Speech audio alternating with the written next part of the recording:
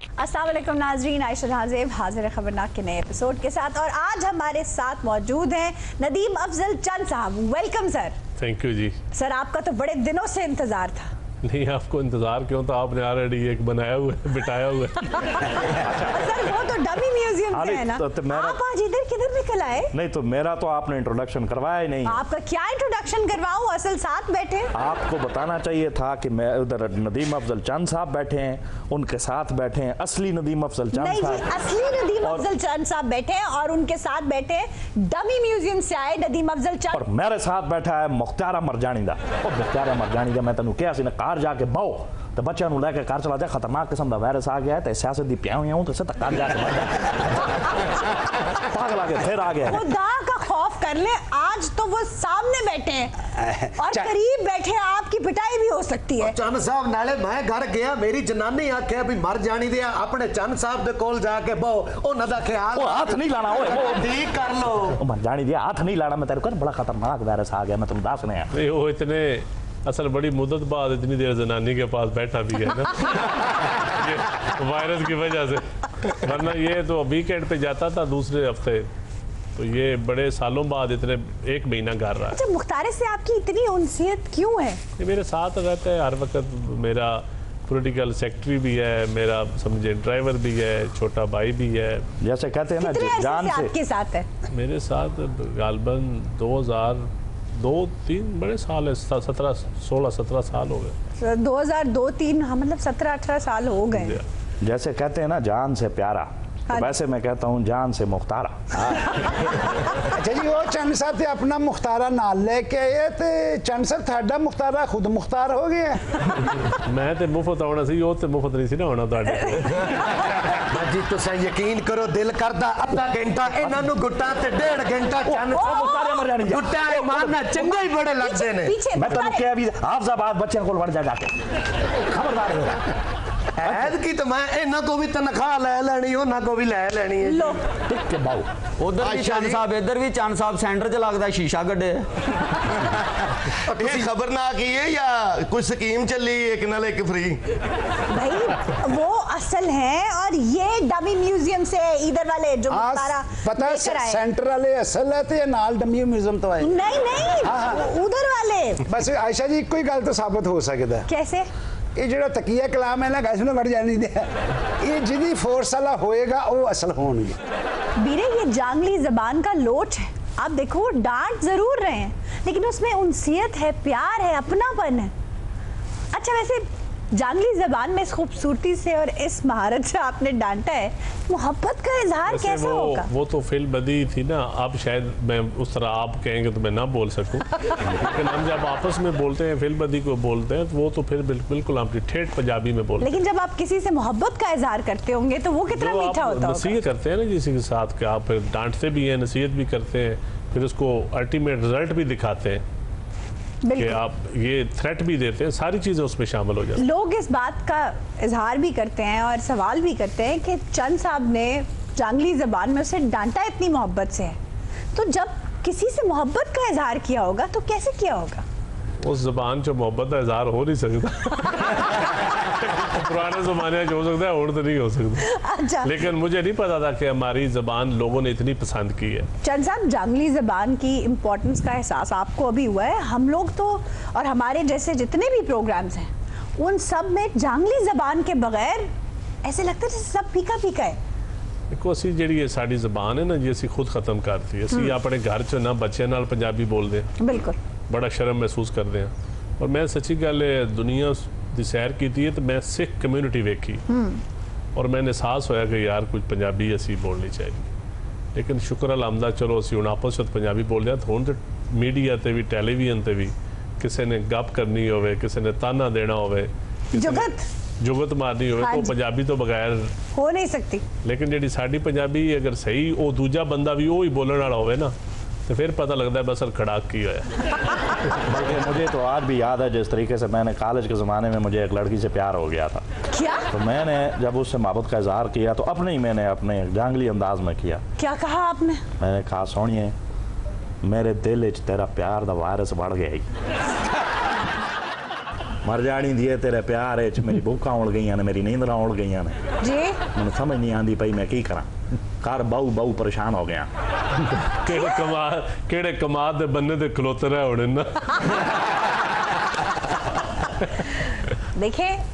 डबी museum वाले चंद साहब आज जरा संभल के बात करनी है क्योंकि वो यहाँ बैठे हैं जवाब देंगे आपको नहीं तो प्यार का इजहार भी तो मैंने किया ना उन्होंने तो प्यार का इजहार नहीं किया प्रॉपरली उस तरीके से नहीं किया जिस तरीके से करना चाहिए था। मैंने चार पाँच शो इनके देखे मैंने कहा आज मैं खुद जाऊँ शो से इनको पूछूँ। आप माफ़ी दे दे जान छोड़ दे मेरी की कोई और करेक्टर ढूंढ ले।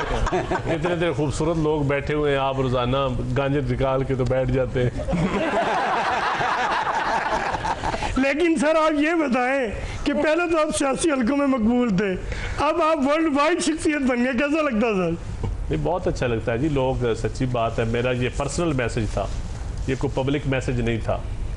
लेकिन लीक हो गया तो लीक होने के साथ अ, पहले तो मैं डरा कि यार ये थोड़ा सा मैंने उसमें एक दो पोर्शन में नॉर्मल रूटीन में मैं इस तरह गाली निकालता भी नहीं हूँ लेकिन जब लोगों ने मोहब्बत का इजहार किया फिर मुझे खुशी महसूस हुई ਇਹ ਵੜ ਜਾਣੀ ਦਾ ਗਾਲੀ ਤੇ ਨਹੀਂ ਨਾ ਜੀ नहीं कोई नहीं एडी कोई नहीं ਸ਼ੁਕਰ ਹੈ ਤੇ ਦੋ ਤਿੰਨ ਵਾਰੀ ਕਹਿ ਹੀ ਦਿਓ चंद साहब आप ਉਹ क्या ਜਿਹੜੀ ਕਰੋਨਾ ਇੰਜ ਰਿਹਾ ਤੇ ਬੜੇ ਬੜੇ ਵੜ ਜਾਣੀ ਸੀ और आराम ही मर जानी दिया चंद साहब ये बताइए कि ये ऑडियो मैसेज आपके और मुख्तारे के दरमियान था ये वायरल कैसे हो गया ये कोई पता नहीं जी मैसेज वाली गल दी पियावियां होंदे और आगे गल कर गल नु आगे बढ़ाने हैं आप मुख्तारे को सियासत से बाज आने को कह रहे हैं उसका दिमाग ज्यादा सियासी है नहीं सियासी नहीं उसकी रूटीन उसकी ड्यूटी जो थी ना वो पीछे मैं जब इस्लामाबाद या लाहौर हूँ तो पीछे हल्के में जो भी पब्लिक गैजेट होती है डेरे में जो ड्यूटी देता है लोगों को डील करने की तो वो लोग इकट्ठे हो जाते थे फिर उसको कोई कहता था बिजली के अफ्ताह भी करें जी शादी पे आप आ जाए अगर नदीम नहीं आ सकता। तो वो पोलिटिकल आपकी वो लोगों से सोशल डिस्टेंस बिल्कुल अब हम इस्लामाबाद टेलीविज़न पे बैठे कह रहे हो कि जी सोशल डिस्टेंस और मेरे डेरे पे सौ बंदा बैठा हो ओए होए होए। और आजकल के सोशल मीडिया के ज़माने में फ़ोटो लगा दे। बिल्कुल। तो मैं यही उनको समझाता था कि अब सोशल डिस्टेंस करो ये खतरनाक मर्ज है आपको अंदाज़ा लोगों को हमारे देहातों में सच्ची बात अंदाज़ा नहीं हुकूमत दस दिन ही पई। है था। ये तो फिर उसको डराने का तरीका था तरीका ना। था सही बात है। नहीं लेकिन एक बात तो है कि ये मुख्तियारा मरजानी का जो है ये है बड़ा सियासी जहन का आदमी और शुरू से ही ये जिस वक्त जिस तरह मैं कभी इस्लामाबाद में होता हूँ ना तो ये मुझे फ़ोन करके कहता है जी कि तुम मैनू और दी आवाज़ फ़ोन करना है क्या? तो मैनू कहना है कि मैं तो इन्हें ना बहुत प्यार कर दिया मुख्तियार ताकि मुख्तियारा मरजानी अपनी बीवी के ऊपर अपना रौब झाड़ सके सियासी जहन क्या है ये तो शोविनिस्ट है सर ये बताएं मुख्तारा वाकई में ऐसे है हाँ थोड़ा जिहा ड्रामे बाजता है नहीं तानू आखदा है कि ਤੁਸੀਂ औरत ਦੀ ਆਵਾਜ਼ ਵਿੱਚ ਗੱਲ ਕਰੋ ਮੇਰੇ ਨਾਲ नहीं मैंने तो नहीं आखदा तो और कहीं आखदा होना गल एडी एडी अच्छा चंद साहब ये ऑडियो जो वायरल हुई है मुख्तारे के क्या तासुरात है खुश है कि परेशान है नहीं पहले तो जब मैंने उसको फ़ोन किया तो वो रो पड़ा ओए ओए सुबह सुबह जब उसको अगले दिन सुबह मैं उठा तो मुझे भी सुबह ही पता चला रात को मैं जल्दी सो गया तो उसको मैंने दोपहर को फ़ोन किया तो वो रो पड़ा कि ये मेरे से नहीं हुई थी ये मैं लेकिन मैं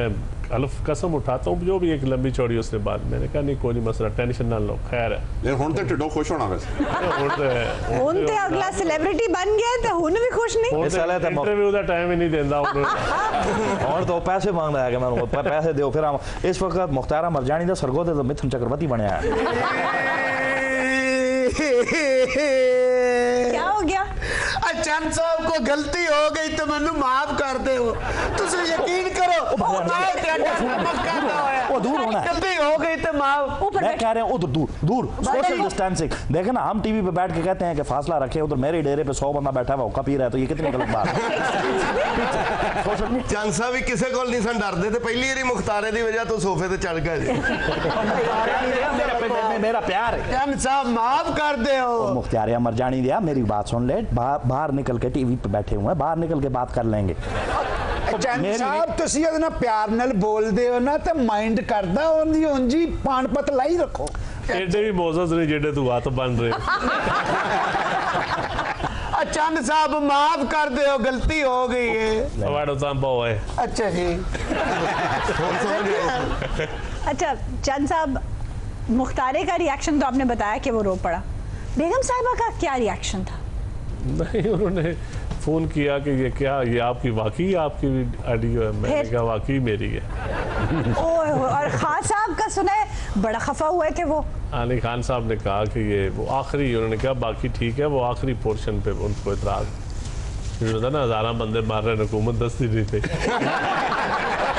अच्छा उन्हें डांटने पे एतराज नहीं था आखिरी पोर्शन पे एतराज खान साहब को उस बात की समझ नहीं आई होगी क्या कह रहे हैं ये जी बिल्कुल खान साहब को बिल्कुल नहीं समझ आई जिस वक्त कैट छूटता था ना तो खान साहब भी यही कहते थे मर जाने दियो कैच पढ़ो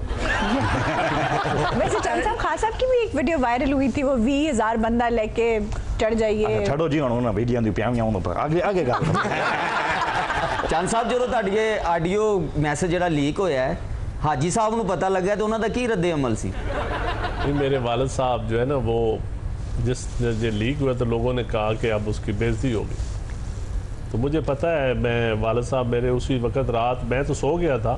लेकिन वो मुसल्ले पे खड़े हो गए थे अच्छा उन्होंने कहा मेरे बेटे की मौला बेइज्जती न करना वाह तो ये देख लो फिर वही लीक इज्जत का जरिया बन गई ਅੱਛਾ ਜਦੋਂ ਦੇ ਅਸਲ ਚੰਦ ਸਾਹਿਬ ਆਏ ਨੇ ਨਾ ਪਰਲਾ ਇੰਜ ਹੀ ਲੱਗਦਾ ਜਿਵੇਂ ਦੁਸ਼ਮਣਾਂ ਨੂੰ ਟੱਕਰਾਂ ਮਾਰਨ ਵਾਸਤੇ ਲਿਆਂਦਾ ਹੈ। वो तो चंद ग्रेन लग गई ਔਰਲੇ ਚੰਦ ਸਾਹਿਬ ਤੇ ਲੱਗਦਾ ਵਾ ਨਾ ਨਵਾਬ ਬੈਠੇ ਨੇ ਸੋਹਣੇ ਲੱਗਣ ਦੇ ਨੇ ਉਹ ਪਰਲਾ ਚੰਦ ਇੰਜ ਹੀ ਲੱਗਣ ਦਾ ਜਿਵੇਂ ਨਾਈ ਨੂੰ ਕਹਿਣ ਆਇਆ ਹੈ, ਬਾਲ ਸੁੱਟੀ ਨਾ ਮੈਨੂੰ ਦਈ ਮੈਂ ਸਿਰ ਤੇ ਲਾਉਣੇ ਨੇ चंद साहब हुकूमत ने दस दिन नहीं पई लॉकडाउन कदों खत्म होना है देखिए लॉकडाउन अब डिपेंड करता है कि लोग कितना अमल दरामद करते हैं सही। अब डॉक्टर्स ने भी अपील की हुकूमत ने भी अपील की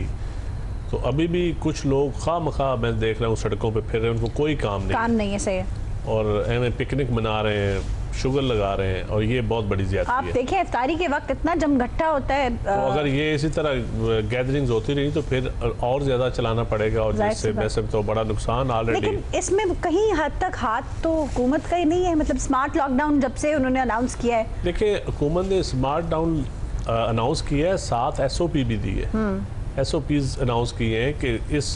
काम के लिए ये एस ओ पीज हैं। अब लोग आगे ना उस पर अमल दरामद करें। अब आप चंद साहब मुझे खुद बताएँ मुख्तारे को अगर आप प्यार से समझाते तो उसे समझ कोई नहीं थी आनी। आपने डंडा चलाया तो उसे बात समझ आई। नहीं बिगड़े तगड़े का पीर तो डंडा ही होता अच्छा सोशल मीडिया पे दो गाने तो मैंने भी देखे हैं। आपने देखे? मैंने देखे। उनमें से ज़्यादा पसंद कौन सा है? दोनों बहुत अच्छे मैं बताऊँ? जी मुझे कौन सा जो मैं अगर इजाजत दें तो मैं उसको परफॉर्म करके बताऊंगा बराबर परफॉर्म करके बताऊंगा देखें मुख्तियार इजाजत है जी बिल्कुल यार वो तो डमी म्यूजियम ते आए ने ओना कोलो की पूछना क्या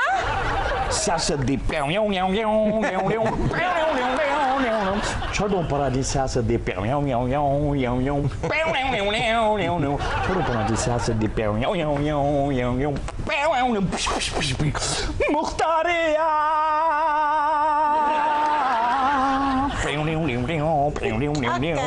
मर जाने दिया कर कर जाके बहु लोकी मरने पैने कुमदस्ती नहीं बच्चे लेते आप बाद बढ़ जा